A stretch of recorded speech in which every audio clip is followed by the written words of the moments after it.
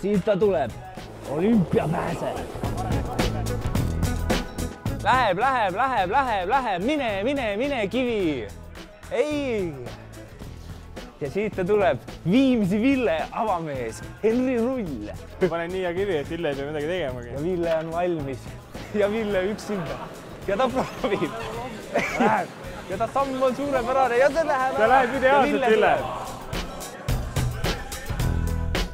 Pane nii, et uus peatreener Kristjan Lindström on kade su viske peale ja siit me jookseme.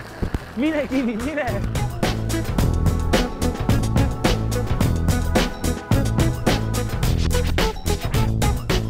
ja sealt ta tuleb, oi, Ville Arike, Õhtule kroonimata kurlingumeister. selle viskega PyeongChangi poleks saanud. mul ei ole vaja praegu tööd teha. hea töö, Ville. sinu peal on meil lootused, Ats.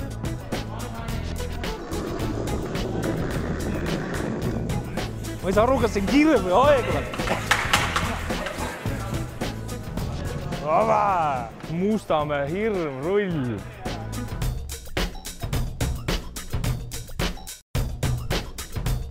närvid vedasid alt.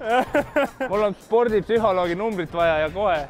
ma olen otsustanud, et ma teen oma elu parima kurlinguviske praegu. vabariigi parimas hardi ees. nüüd tuleb panna, panna on vaja. Otsusta vett, pagan